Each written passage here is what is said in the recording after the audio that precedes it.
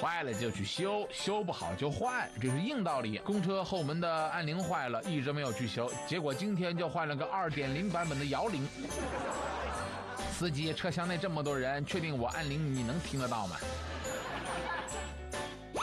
我唯一能确定的事情就是你站在窗外是喊不应我的，也是看不到我的。装修师傅，你给我过来啊！窗户装在这里是几个意思啊？老天给你关了一扇门，也不见得就给你开了一扇窗。窗户的事情还没搞定，就在公共厕所看见了一个这样的楼梯。请问你是让我上完洗手间就翻墙出去吗？好好的路不走，我为什么要翻墙啊？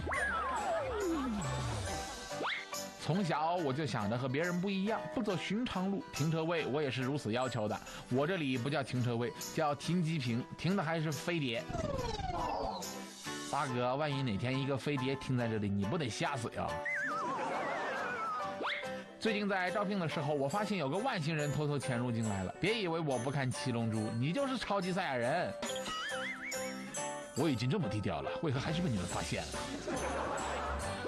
别以为来地球你们就能习惯这里的环境。告诉你，在没有空调的日子里，我是抱着两台风扇才勉强活下来的。地球好危险，我还是从哪来回哪去吧。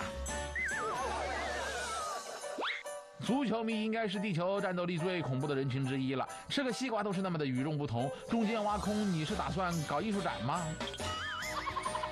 信不信我能一脚凌空抽射，把西瓜踢进球门？如果再见不能红着眼，是否还能红着脸？我不仅红着脸，我全身都红了。你还认识我吗？当初那个让我脸红的初恋，如今娶回家就变成这样。麻烦你睡觉姿势正常点行吗？这么扭曲，你以为是在练瑜伽呀？生命在于运动，所以我睡觉的时候也不停歇。